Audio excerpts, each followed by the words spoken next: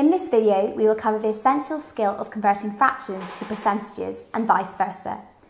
From experience, a top tip is to convert all values given into the same format so they can be easily compared. If the values within the answers are all in percentages, then convert all the values within the question stem to percentages. Remember, percentages are usually easier to compare to one another in comparison to fractions. Fractions are only easy to compare when they have a common denominator.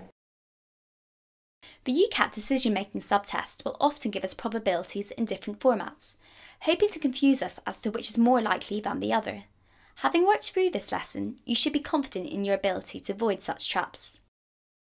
Our objectives over the next five minutes or so are to show you how to convert percentages into fractions and fractions into percentages, and to show you examples of how these skills can be tested.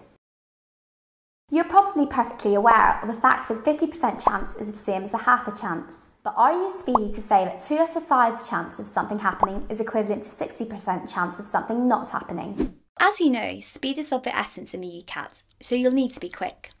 Also, it is easy in stressful examination situation to be careless of decimal places. Be cautious with this. For example, 1 out of 100 is 1%, and 1 out of 1000 is 0.1%. Take an extra second or two to focus on the number itself within the question which you need to convert to avoid careless errors. The good news is that a relatively small range of fractions and percentages are covered in decision making and they are mostly round numbers. What about the basics? The essential conversions are displayed on the screen now.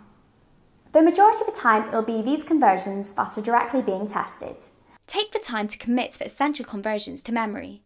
These are really basic and will save you a lot of time. Have a go at this first question and see for yourself how knowing the essential conversions can save you time.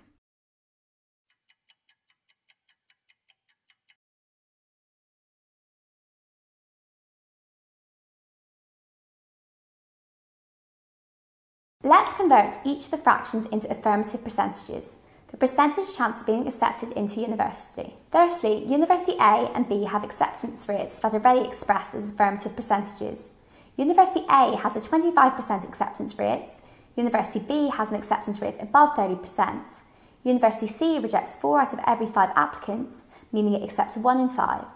As we now have seen, 1 in 5 equates to 20%, so C has a 20% acceptance rate. University D rejects 3 out of every 5 applicants, so it accepts 2 in 5, which is equivalent to 40% acceptance rates for University D. I worked this out in my head by doubling both 2 and 5 to make the denominator 10. The fraction 4 out of 10 can then be easily converted to 40%. We now have four acceptance rates as displayed here. The only conclusion that must follow is that Shaima has a better chance of getting into University D than getting into University A. Occasionally, if the UCAT is being harsh, they may give you probabilities other than the values listed above. If they do, these can be swiftly converted to a more familiar format. As always, have a go on your own first, and then we go through it together.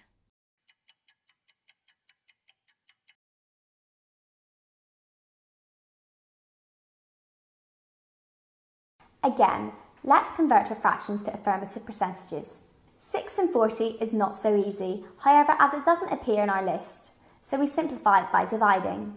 Dividing this fraction by 2 simplifies it to 3 and 20, if 1 in 20 is 5%, then 3 in 20 is 15%. So 15% of the patients are unhappy with the room service. This is equal to the percentage of patients who are very happy with the service provided. Hence, we know that the answer must be an equal proportion of patients are unhappy as are very happy. We hope you now feel much happy with probability questions in the UCAT, specifically equating fractions and percentages within the decision-making questions. Good luck! That concludes another UCAT lesson. If you like the strategies and content we're developing and want to see more free content, please leave us a like and don't forget to subscribe. If you have any UCAT questions, leave us a comment below and we'll help you sort it out and get your preparation up to speed.